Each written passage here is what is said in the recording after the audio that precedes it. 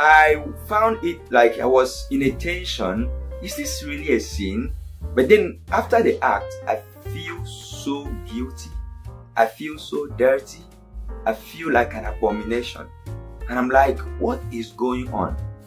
At this point, I'm already addicted. So I'm trying to stop it and I cannot. As you can already see from the title of this video, you already know what the video is about. And I want to be raw, honest, open and transparent with you because I want to give you the gift of my vulnerability. I am aware if this is your first time watching, I'm glad to have you here. And if you are a returning viewer and you've already subscribed to this channel, thank you so much for coming back to watch today's video. God has been nudging my heart to speak on this. And it was as if God is saying, there are people that are struggling with this right now and they need this message. So it's not about you. It's about them. And bringing this out here, I know it's something that's so vulnerable to just put it out there. I was addicted to masturbation. I literally grew up in church and I've been in church all my life, but when you want to talk about these things about sexuality, sometimes it is very easy for us to wear the religious cloak and look perfect before people because, especially when it has to do with the addiction of masturbation, since it's a secret sin, nobody would even know until you tell them, unless you tell them, or unless you are being caught. So I struggle with this and let's get to where did this start? So growing up, I've been exposed to some seeds of this perversion. You know, at the time that I was a little boy, I was opportune to see a blue film. You know, it's called porn now, but then it was called a blue film. Like growing up, that's the language we termed it because if you look at the screen, it was always blue and not as if my parents had it at home, but I saw it at a neighbor's place. That planted a seed. I've been in church, like I said, you know, I love God and all of that. But then I am a human being and I have sexual feelings like anybody would have. So growing up, becoming an adolescent, I already have these seeds that were planted. Being a young boy, I had this friend that was older than me and I've seen him masturbate before because I bathed with him, you know, I saw him masturbate then and it planted a seed. At first it was like kind of like, why would he do that? You know, it, it was awkward. That was the first time I even saw such an act, but then it didn't ring a bell. And then I've gone through a series of things with abuse and all of that. And then my sexuality is real. So going back to the church perspective, the church clearly talks about sexual sin, which is fornication and adultery. Clearly, that was what was clearly stated and talked about and preached to the young people, preached to the adults, do not engage in adultery. For the young people, for the single people, it was do not fornicate. So right here, any other thing that you might do might seem safe. So get where I'm coming from. I'm not trying to say that masturbation is a good thing, but then when I started practicing it, it didn't ring a bell that it was bad. Because at first, nobody preached about it. Like it was never talked about when I grew up and when I engaged in it. Nobody talked against it either. So I'm trying to give you my background because I know coming out to make this video, some people will come to say, no, it was because of your religious inclination and all of that. That is why you were feeling guilt. That is why you were feeling that way. Before you get to that, since I came up with these teachings, I love God, like I said, and I did not want to do anything that will make God angry with me because I felt like if I even get to make a mistake and go wrong, God will be angry with me. And I'm trying to get God to love me. That was my mindset. And then it means if I fail, I have failed God. And which means God will not end up loving me again. So I try to avoid the stated sin, which is fornication. I try to avoid it with, know, the best I could. Yeah, God helped me with it. Try to avoid it. I wasn't married, so adultery wouldn't be the case. But now when I was introduced to masturbation, it felt like a safe option for my sexual needs. It felt so safe because I'm not going to get anybody pregnant. I'm not going to contact STD, gonorrhea, whatever disease. It feels like a safe sex I'm not hurting anybody. I'm not going to break anybody's heart. So it was so painted that it was so safe and I practiced it not like it was just an occasional thing that, okay, I would practice it occasionally. And since already I believe it was safe because search through scripture, there's nothing in the Bible that says masturbation is bad. Now that is it. That was me until later in time, I got choked in it. Like I got addicted.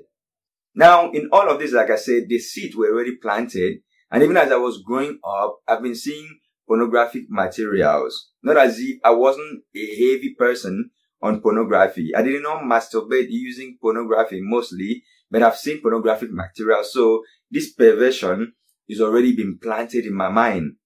And I've watched a few pornographic materials. I could remember this Symbian and these Symbian phones that came out and then I would be trying to download games. So for anyone that would know, I would go to Waptrick, www.waptrick.com or wapking.com to go get games. Then in that process, I would see these pop-ups, you know, XXX. I wouldn't know what it was. So then I would just click and then where is it leading to? It led to porn. It led to all those things. And then I would see it and it, it's luring. It's captivating to me. I'm a young person. My, my, my flesh wanted everything I saw there. It was moved. I, I would try to go out immediately and it's kind of like I'm being forced in. I'm being plucked in, literally. So I'm just being so raw and real with you here. It was a struggle. Like I said, I was not heavy on watching porn. In fact, I had friends that had porn in their phone and they were proud to have it. They were okay to have it. But that to me was something like was a no-no. I wouldn't get porn, pornographic materials personally. I would not want to have it because I knew if I would stumble on it, it, I knew the effect it had on me. So already that one clearly was wrong to me. But then before I continue in this story, let me clarify this because growing up, I know a lot of people had this mindset that porn, because they called it adult movie, many Christians fall into the wrong belief that porn is meant for married people.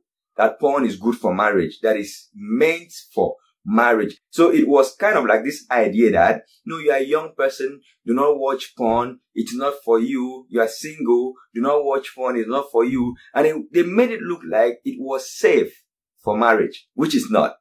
Because the perversion that it brings doesn't make it safe for anybody, whether in marriage or in singleness. So already that mindset would get a single person to say, okay, since it's safe for marriage, let me start preparing and let me start learning. So that when I get married, I will know what to do. Get the idea. So, but then all of this, I just wanted, I just needed to clarify that because so many people might be in, you know, ignorance thinking porn is good for marriage. Now, when did this masturbation turn to an addiction and how did it happen? I happened to see myself being pulled to masturbate. Like I've been masturbating and there was no guilt in it. But before I knew, I was kind of plucked into it so badly that I cannot even resist. I thought that, at first I thought that I would just stop it whenever I want to stop it. If I want to stop it, I will stop it. I couldn't let go. I started searching how can I let go of this thing?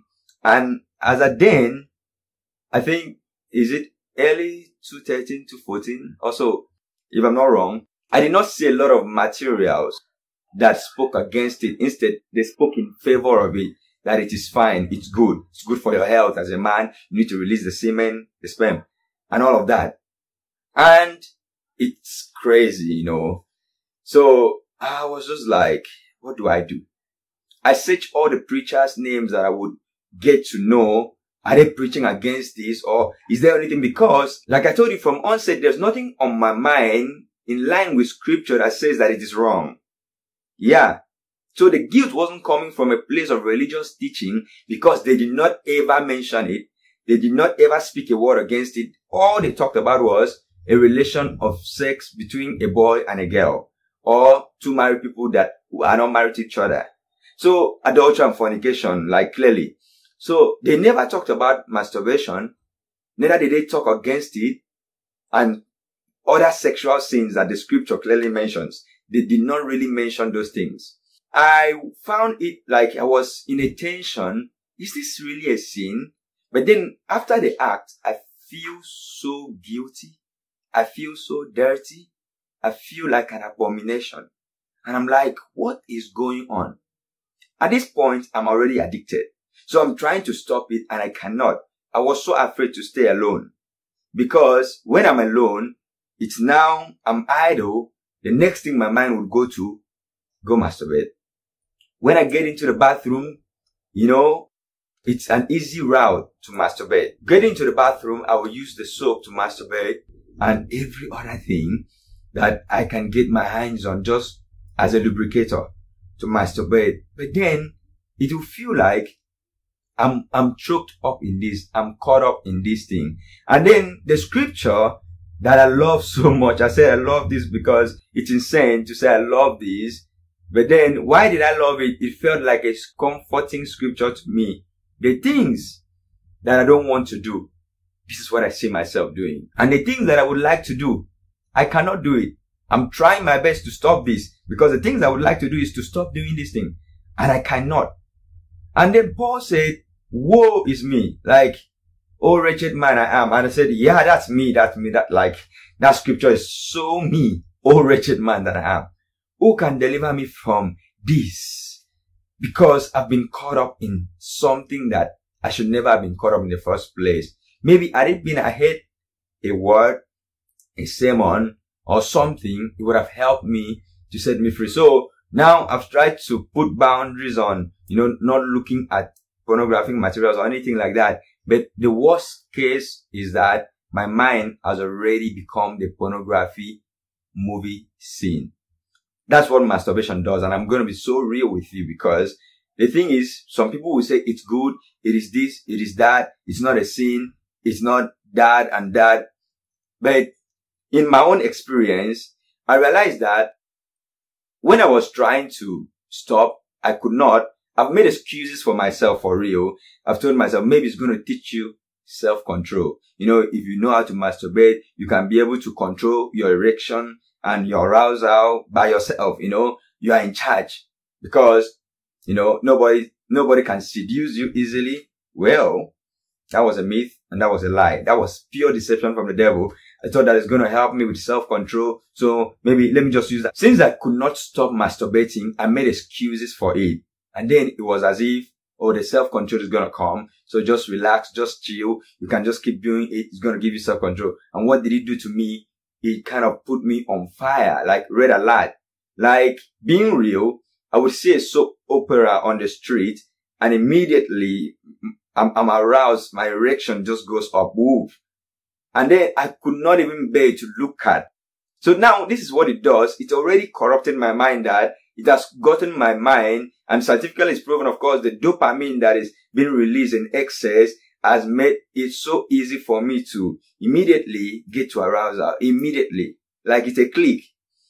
So seeing a soap opera, even to the extent of, you know, perverting my mind that if I would look at, um, the mannequin, a female mannequin that is being dressed, you know, for, for fashion, immediately I can visualize something sexual. Like I can easily, that's what it did to my mind. And I know I'm being too raw here. So sometimes it could look like, and what scripture is it? Jesus said, when you look at a woman lustfully, you've already committed adultery with her. So now it came so real that masturbation helps you to get to lust so easily. Masturbation kind of enhance your lust, if I can use that word. So I thought that it's going to help me run away from lust. Instead, it helped me embrace loss in its totality. Like I would be lost in such that I wouldn't want to face a beautiful person that is attractive to me and look at them in the eye. Because what it's going to do to me, I wouldn't like it. So at this point, I'm already in a place that I knew I needed help. This is not something that somebody preached to me. It was a secret struggle. Nobody knew. I still went to church. I still performed my duties in church and did everything, but it was just so personal and a secret because nobody would ever know unless I say it out like I'm saying it out. But thank God that He delivered me. Because if He did not deliver me, how would I be able to even stand up and just say, Oh, God delivered me? Like, I've, I've made excuses for it. I'm just telling you, if you have made excuses for why you're masturbating, why you're watching porn, the devil will always try to deceive you to make excuses for your sin. But the truth is that sin is catalyst to more sin. You can never use sin to learn how to not sin. It's a lie. There's no way. But sin will always catalyze for, for you to sin more. So for you to say, I'm watching porn so that I can learn how to perform well in, in my marriage sexually, no, you don't need that. God already made you perfect. And the thing I saw here before as I was making this video is that the devil is after your mind. The Bible says your mind is the is the battlefield. Like the, the warfare is spiritual. It's so spiritual that the devil wants to hijack your mind from you. Because once he gets you in pornography and masturbation, he keeps you in that place and tries to torment you. So I got there, of course, and it was tormenting. And like scripture says that the battle, the, the weapons of our warfare are not carnal. They are mighty through God to the destroying of every high imagination and high thought that exalts itself against the knowledge of God. So seeing myself in that place was a place I, I never wanted to get to. But now I've made these excuses and then it didn't even work. And I, I started making prayers because they said that if you, if you hate it too much, if you hate it that bad, you can stop it. If you hate it too bad, it's possible to stop it. So of course I hated it because of how it made me become, how moody it got, it got me and how weak it got me. Like in all areas, how loose it got me. So I got too angry with it and I started praying, you know what, what religious people would call rugged prayers. like, God, if I do this again, let me to jam me on the road. Like, let me have an accident. Oh God, forgive. Like, I thank God that God doesn't answer every stupid and silly prayer we make to Him. Even when, because He knows our heart clearly. Like, He knows our heart and He sees how foolish we can be sometimes. So like, religiously, I've tried to make these prayers to see if it's gonna work. Let me, let me, you know, make this hard prayer to God. Then it didn't work. And I told God, God, if you do this for me, I will sing for you forever. I started making promises like Jephthah. God, if you do this for me, if you make me stop this, I will sing for you forever. I will, I will do this. I will save you forever. Yeah, it's a good prayer to make, but then it didn't still work. So now what was the way out? The truth is, I was trying to do the right thing, but then I was approaching it the wrong way. Because any kind of addiction you are being held bondage to, God really wants you to be free, but your freedom, when it's based on your self effort, when it's based on your ability, will only be something that you are only managing the addiction. Because I'm not, like, they're going to tell you, you know, engage yourself in exercises, get to do things that is going to, you know, get you distracted from this thing, this mindset and all of that. And they are all good things that are going to help you manage the addiction. But once in a while, you fall back into it because I tried many different things. I tried not to be alone. I tried to get myself engaged in activities and all of that. But um, yeah, I can go for like three months and then before you know, it hits back. And that wasn't deliverance. It means it was just an addiction management. And a lot of people are managing the addiction and they felt like they have, they have control over it. No, they don't. So I, I, I knew that I didn't have control over it because when it hit back, it condemned me. I felt so bad. I felt condemned because I could not resist the temptation.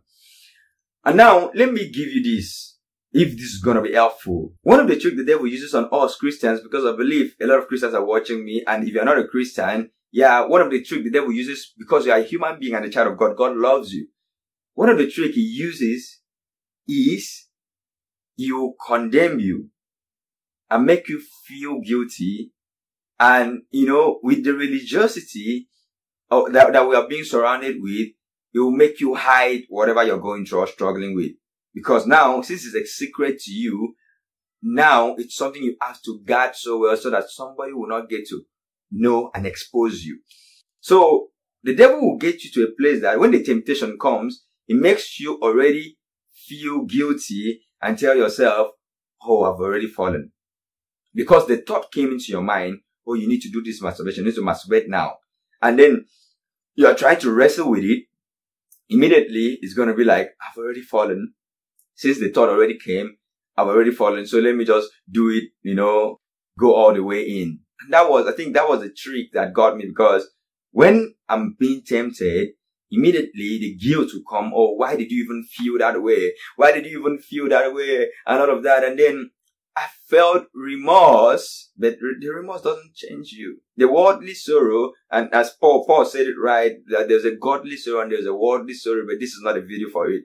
Maybe in another video, I might have to explain that. So I got into this worldly sorrow that I'll beat myself, hit myself, hit, like literally beat myself up, trying to stop this. And that was just self effort. Trying to stop this, and that was just me trying to use my self will to see if this can stop. Because I was told where there is a will, there is a way. So since I have the will, I'm willing to change. But then, how is the way going to come when I don't have the power to change me? And that was it. I didn't have the power to change me. I could not even stop it. My, the, my arrogance as a human being, my pride as a human being was that when I want to stop it, I will stop it. If I want to stop it, I will stop it. If I want to stop this, I can stop this. And then I realized that I couldn't even stop it when I wanted to stop it. And if anybody's trying to paint masturbation to be like, it's good, it's good if you're not addicted to it, where is the boundary that you will not be addicted to it? Is there like any line? Okay, you may not be addicted to it right now that you are still single. What if it happens inside your marriage? And are other things I would say that affect the, the, the future effect of masturbation that we don't see. Because masturbation may not have effect right now in your life, but it has a future effect in your marriage and in your life in general. So it, it, has health effect also when you are, when you get addicted to it. But my line of argument is, is there a boundary that you will not be addicted to this thing? Because of the amount of dopamine that is released, and now you feel so pleasured, you are so good because you can get yourself there. But then, is this going to help you going forward? And Paul Apostle, you know, I read the scripture and I saw it clearly in Timothy as Paul was saying that in the later time, people will become lovers of pleasure more than lovers of God. And I feel like masturbation falls in that category. Voluptuous, the lovers of pleasure, that all we think about is to be entertained, to pleasure ourselves. And then this self sex is part of this lover of pleasure because it kind of consumes you. Yeah, you're pleasuring yourself. It's helping you to, you know, try to get yourself in tune with your sexuality since you don't want to sleep around or if you're not even, but I feel like mostly, especially for Christian singles, we fall victim to this masturbation because we've already cancelled out. Ah, I don't want to fornicate. I don't want to commit adultery. Or maybe as a married man, my wife is not around. I don't want to commit adultery. So let me oh. just masturbate. So I know I've said a lot of things so far, but then I hope this has helped someone or this is going to help someone. This is my story and it took the grace of God to deliver me. Now, this scripture is what I will give you in closing. I, I wouldn't be able to share all the story. I've told you how I beat myself up, like literally, and I said I'm going to be raw. I literally, when, when I would get aroused and erected, I would try to beat my penis to go down, like, I mean, physical beating. So I know I'm being too raw here. Some people wouldn't, might say this, this was unnecessary to put, but I'm going to leave it here. I've tried, like I tried, I'm trying to tell you how much I tried because they said if you hate it that bad, it's gonna go away. But it didn't go away in my case. I hated it because of what it did to me. got me loosed and all the silly promises made, it didn't even like, the promises were just fake and deception. So at the end of the day, I realized that I couldn't do this by myself and I needed the Spirit of God. I think I heard a sermon Uh, and then the person was saying that if you want, if you are filled with the spirit, you know, it was explaining being filled with the spirit and then the desires of the flesh, you disappear. And then that made me realize that to kill an addiction, since it, that, that addiction came to fill a need, a valid need. So you cannot just remove the addiction by trying to plug it out. You fit another thing like you don't neuter an addiction by trying to plug it out. You neuter it by nurturing a, a, another habit, a healthy habit. Maybe nurturing another thing. Like for a Christian, you nurture getting filled with the Holy Spirit, which is not your own doing. So the, the preacher clearly explained that, and maybe in another video might take time to talk about this. He talked about being filled with the Holy Spirit, as you're being filled with the Holy Spirit, and he was doing an analogy of um, pouring a, a, clean water into a dirty water, and then over out over pouring that clean water till it overflowed, and then it flowed till the dirty water escaped, and then everything in that bottle was now clean. So you do it by getting filled. If you want to, to get an addiction out of you, it, it is not by trying to suck it out of you like, oh, this addiction, you have to go suck it out of you. Even when you pray, you must still be bound in it. Because that addiction came, you know, slyly to feel a valid need. There was, there was an underlying thing. I didn't feel loved. And this is me being real. I didn't really feel that loved. And I didn't, I didn't feel that acceptance. So when I started masturbating, it feels like that dopamine release made me feel like, oh, ah, like I've gotten what I wanted. So it can feel a need of rejection in someone or whatever thing. Maybe sexual abuse that happened to you made you feel not in control. Somebody took, you know, uh, somebody abused you and took what was yours without your permission. So now you have, you know, control. You are now in control of this one. You are in control of the act. You want this thing and you want to do it by yourself. So you see, it feel, it feel the valid need and for everybody is different. What got them there is different why they are still there or what got them addicted. But all I'm saying is that for you to get out of this, it will take you being filled with God and then so that knowing that you are not an addict, that you are not condemned, God hasn't condemned you. The scriptures in the gospel says Jesus took your sins and gave you his righteousness and you are the righteousness of God in Christ. So I would even tell you if you are still struggling with this right now, I know the devil is going to tell you, come on, come on, keep quiet, come on, keep quiet, but this is how I got saved. Even when I would say I am the righteousness of God in Christ, it's the truth of the gospel, but then I still, in the midst of it, I would say I am the righteousness of God in Christ. My dear, the, the, thought was battling It was I was in a war. my mind is a battlefield. I was in a war of like keep quiet, you're an hypocrite, you are this or that, and I would be like, I am the righteousness of God in Christ. And over time, the desire because I'm feeding the focus of the love of Christ. How am I the righteousness of God in Christ? Is because He loved me so much that He came down to it and He died for me, paid the price for all my sins and the masturbation included. So now I am free. I am a new creature. All things have passed away. And now the core scripture, like I, mentioned, I was going to give you, which I used personally was in Matthew chapter 5 that says, they that hunger and thirst after righteousness shall be filled. Now, in the word righteousness there says equity of character and of act morals and all of that. And I, I hungered for this because I knew that this masturbation has already perversed my mind and all of that. It, it came in just clearly to destroy me. So I really was hungry for this righteousness and I was thirsty. I was craving for this. And what happened is that I did not understand the last part. He said, they that hunger and thirst for this shall be filled. But all I was doing was trying to feel myself by myself, trying to work on my self effort. And until God opened my eyes to see that word shall be filled and realize that the feeling is not done by the person who is hungry and thirsty. It's done by an external force, which is that the Holy Spirit is not a force, but this is a personality that can feel you.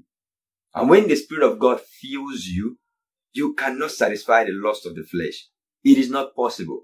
And it is your place to open yourself up. Holy Spirit, fill me. And this last thing, and I've said like last thing two to three times. When God delivers you, He does not deliver you to go back and live your regularly scheduled life. He delivers you with a purpose in mind. When the devil came to take you, he took you because God had a purpose for you. So when God is delivering you, like he delivered the children of Israel, that's the analogy I do like in Exodus, he delivered them, and the reason was so that they will go and praise God. They will go and worship God. It is the same thing. When God delivers you, it is so that He can have your full attention. So that you turn from being a lover of pleasure to becoming a lover of God. And I would say when my deliverance from this addiction came, I was plunged into realizing how good God is, like how gracious God is, that He delivered me from this thing that, that carried a heavy weight of shame around my head.